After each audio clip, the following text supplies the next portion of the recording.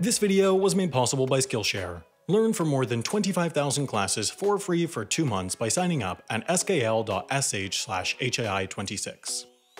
There are a few things that everybody hates. Bug bites, going to the dentist, watching videos that aren't made by HAI and other Wendover Productions associated entities, hand dryers, running out of things to put on a list, and of course, paying taxes. Of course, there are a lot of different opinions on taxes overall, but most seem to agree that they don't like paying taxes themselves, and nobody hates taxes more than corporations. That's why often, corporations store their money in tax havens, places with loose, generous tax laws that charge either very little or no taxes.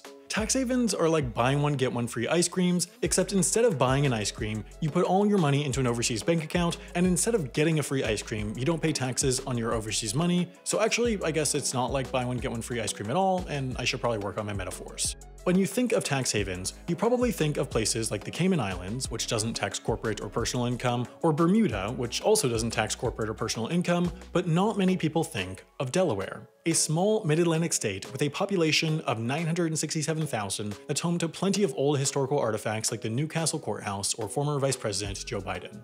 In fact, most people don't really think of Delaware much at all. It's only home to 0.3% of the US population. Sorry, Delaware, it's uh, Delawarriors, Delawalruses, people, people from Delaware.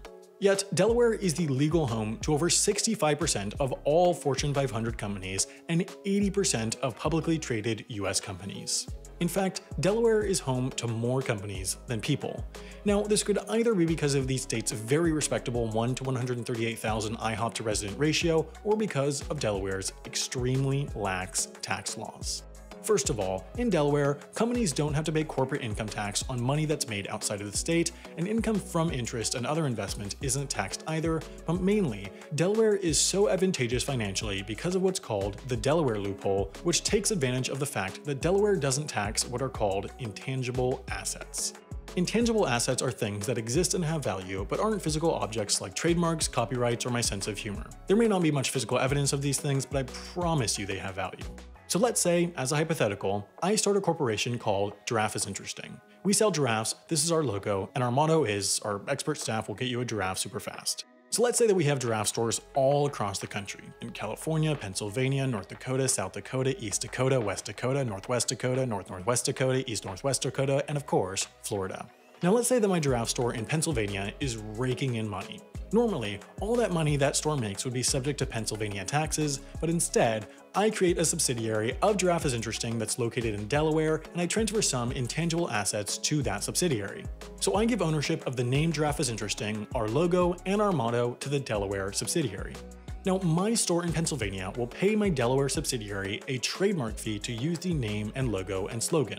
So let's say that my Pennsylvania store sold $100,000 worth of giraffes, but they also paid $95,000 to my Delaware subsidiary for the rights to use the name Giraffe is Interesting and this awesome logo and that great motto.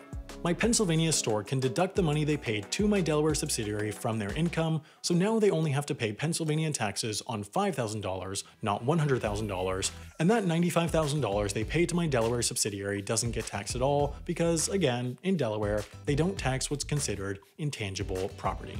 Every year, the government loses out on about $9.5 billion because of the Delaware loophole. That's enough money to buy 392,000 giraffes or a few dozen US senators. So that's the Delaware loophole, and this is what brings us to what you've all been waiting for. The two-story building that's home to 15% of all US companies. Now, there are a lot of important addresses in the world 1600 Pennsylvania Avenue, 10 Downing Street, 4 Privet Drive, 42 Wallaby Way, but perhaps the most exciting of them all is 1209 Orange Street, Wilmington, Delaware.